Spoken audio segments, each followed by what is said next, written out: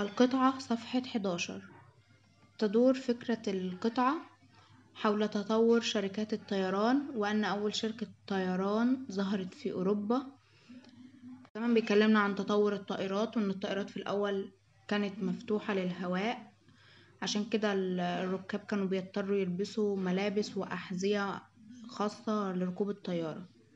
وبالرغم من أول شركة طيران بدأت في أوروبا إلا إن أمريكا هي أول دولة عملت رحلة جوية للركاب وبعد كده بيقول لنا إن السفر الجوي ما أثرش على السفر بالسيارة أو القطار إلا إنه تسبب في توقف العديد من خطوط الشحن البحرية لأن معظم الناس بتفضل إن هي تقضي وقت قليل في السفر الجوي عن إن هي تقضي وقت طويل جدا في النقل البحري Nowadays, most countries have at least one airline that flies to foreign countries.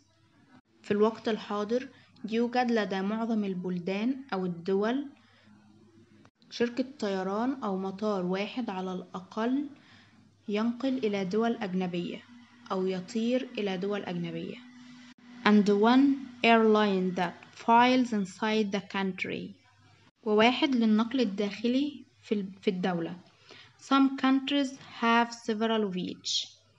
وبعض الدول لديها العديد من كل منها. The first European airline flew every day from Berlin to Weimar.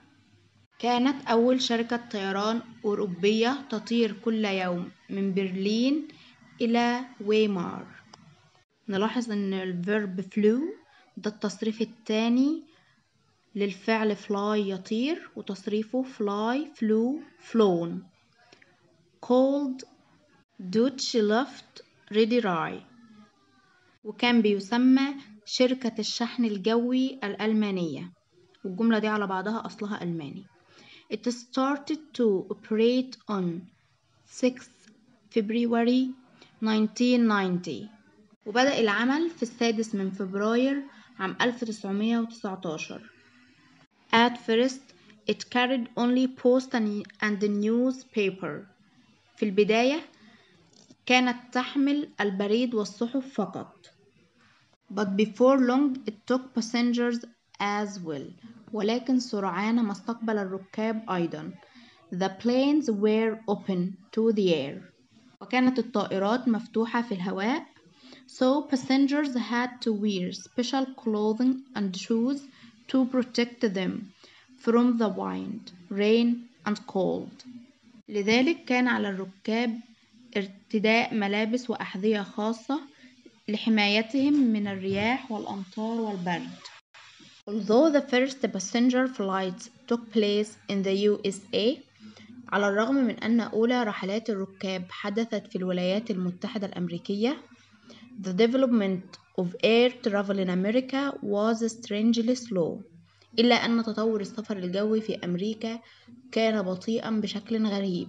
Wasn't until 1926 that there were any regular passenger service there. ولم يكن هناك أي خدمة ركاب منتظمة حتى عام 1926. It wasn't until 1939 that the first service across the North Atlantic began to operate.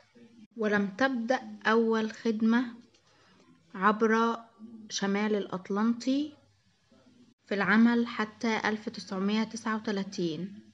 This was a service by the Pan American Boeing 314 flying boat. وكانت هذه الخدمة من قبل القارب الطائر the Pan American Boeing 314. Nowadays, for many people, air travel is as much a part of their lives as traveling by boat, car or train. في الوقت الحاضر بالنسبة للعديد من الأشخاص يعد السفر الجوي جزءا من حياتهم مثل السفر بالقارب أو السيارة أو القطار. Although it hasn't seriously affected travel by car or train, على الرغم من أنه لم يؤثر بشكل خطير على السفر بالسيارة أو القطار has caused many shipping lines to stop carrying passengers إلا أنه تسبب في توقف العديد من خطوط الشحن عن نقل الركاب. As most people now prefer to make long journeys by air rather than by sea حيث يفضل معظم الناس الآن قضاء رحلات طويلة جوا وليس برا أو ممكن نترجمها إن الناس بتفضل تعمل الرحلات الطويلة يعني جوا بدلا من بحرا.